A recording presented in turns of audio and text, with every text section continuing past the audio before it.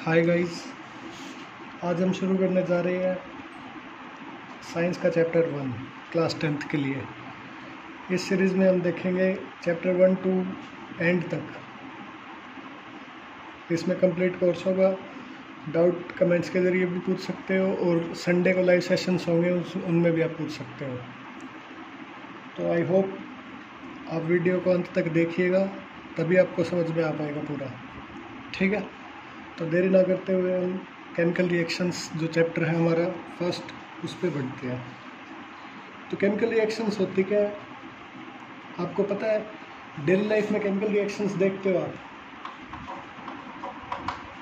Daily life में chemical reactions देखते हो। कौन कौन से केमिकल रिएक्शंस देखते हो डेली लाइफ में, बताइए? दूध उबलते हुए देखते हो? और दूध को अगर रूम टेम्परेचर पर रख देते हैं हम मिल्क एट रूम टेम्परेचर तो वो क्या, किस चीज़ में कन्वर्ट हो जाता है? कर्ड के अंदर कन्वर्ट हो जाता है? दही के अंदर। तो पहले केमिकल रिएक्शन तो यहीं पे देख लिया हमने। दूसरी केमिकल रिएक्शन अगर ग्रेप्स ले आते हैं घर पे, अंगूर तो वो सड़ जाते हैं थोड़े टाइम के बाद। ठीक है फर्मेंट हो जाते हैं। तो वो भी एक केमिकल रिएक्शन है। डेली लाइफ के केमिकल रिएक्शंस बता रहा हूँ मैं आपको। ठीक है? और जो फ़ूड हम खाते हैं, वो डाइजेस्ट होता है। तो वो भी एक केमिकल रिएक्शन है। ठीक है? और हम सांस लेते हैं, वो भी एक केमिकल रिएक्शन है। ठीक है? और भी अनेकों केमिकल रिएक्शंस है जो डेली लाइफ में हम देखते हैं या फिर करते हैं, ठीक? तो अब एक देख लेते हैं कि केमिकल रिएक्शंस में मतलब हमें पता कैसे लगा कि ये केमिकल रिएक्शंस हैं? बताइए। या तो अब ये पॉइंट्स नोट कर लीजिएगा इंपॉर्टेंट पॉइंट है ये।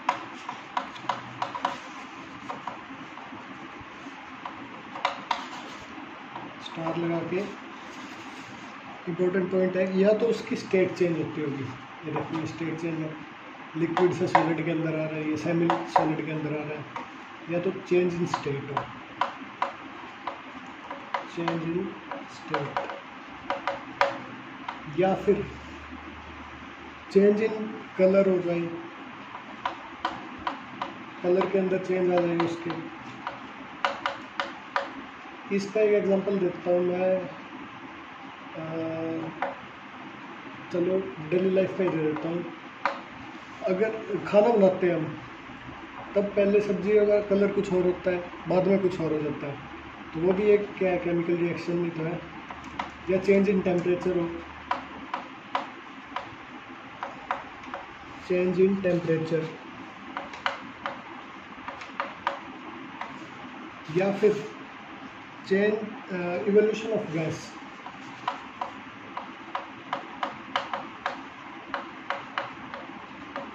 उसके अंदर से गैस निकले।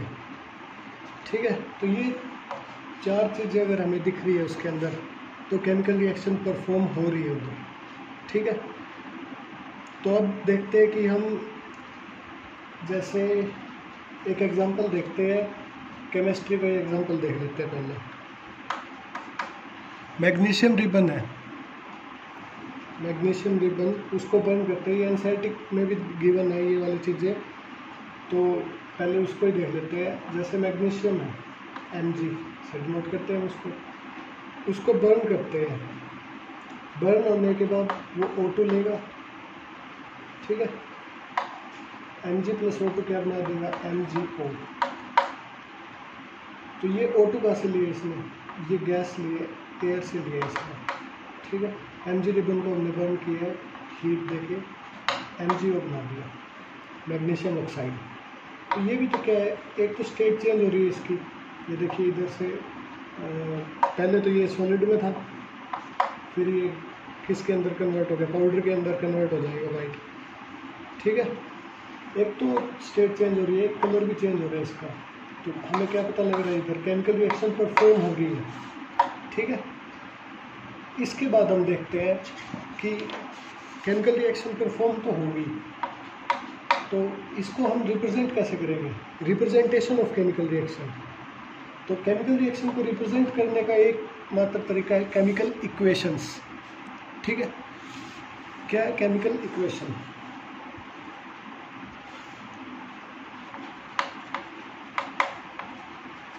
chemical equation chemical equation किसे बोलते हैं हम?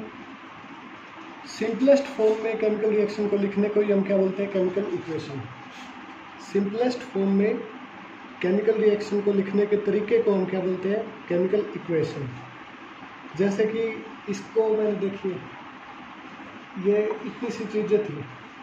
मैग्नीशियम रिबन लिया, उसको बर्न किया एयर में से O2 आया हीट दी बर्न किया तो हीट होगी, फिर हमारा मैग्नीशियम ऑक्साइड बना जो कि पाउडर बनेगा वाइट पाउडर इतनी सी चीज़ को मैंने इतने से में लिख दिया। तो इसको क्या बोलते हैं केमिकल इक्वेशन ठीक है? तो इसकी एक डेफिनेशन लिख लेते हैं केमिकल इक्वेशन की। केमिकल इक्वेशन उससे पहले देखिए, क्या क्या चीज़ें यूज़ होती है केमिकल इक्वेशन के अंदर? सबसे पहले क्या यूज़ होता है? एक तो रिएक्टेंट्स होंगे जैसे ये ये रिएक्टेंट है, ये रिएक्टेंट है। रिएक्टेंट्स हो गए। रिएक्टेंट्स की मदद से क्या बनेगा? प्रोडक्ट बनेगा। प्रोडक्ट बनेगा? ठीक है। रिएक्टेंट्स की मदद से प्रोडक्ट बनेगा। हेल्प भी चाहिएगी उसको प्रोडक्ट बनने के लिए। ठीक है? वो हेल्प कौन देगा? उसको हम क्या बोलते हैं? जैसे ये हीट है इधर, या फिर टेम्परेचर भी हो सकता था। ठीक है? जो कि केमिकल रिएक्शन को गति दे मतलब बढ़ावा दे केमिकल रिएक्शन होने को परफॉर्म करने के लिए।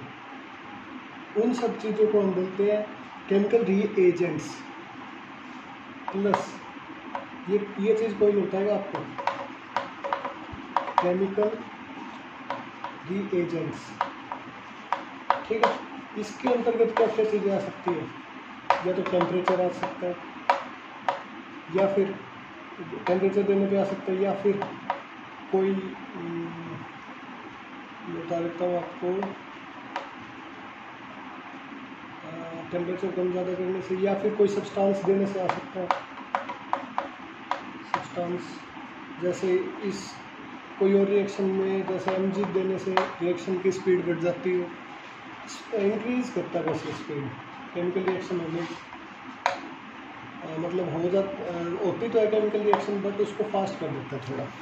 ठीक है?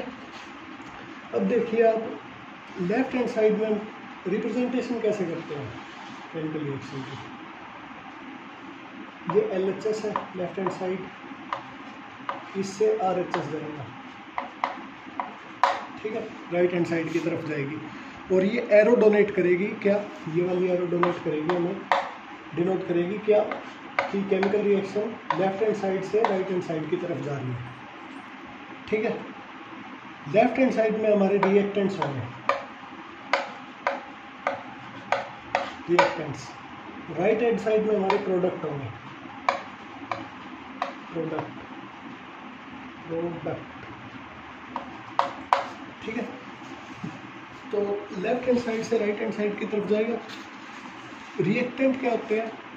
The reactants are the substance that used in the chemical reaction ठीक है रिएक्टेंट्स होते हैं जो केमिकल रिएक्शन में यूज़ हुए हैं शुरुआत में। ठीक है? और प्रोडक्ट क्या होता है? जो कि रिएक्टेंट्स की मदद से जो सब्सटेंस निकल के आया है केमिकल रिएक्शन होने के बाद, उसे हम प्रोडक्ट बोलते हैं। ठीक है? तो अब मैं ये पोज करके डेफिनेशंस लिख देता हूँ आपके लिए, किस किस की डेफिनेशन लिख दूँ? एक तो केमिकल इक्वेशन की और एक रिएक्टेंट की। एक लिख देता हूँ रिएक्टेंट केमिकल प्रोडक्ट की।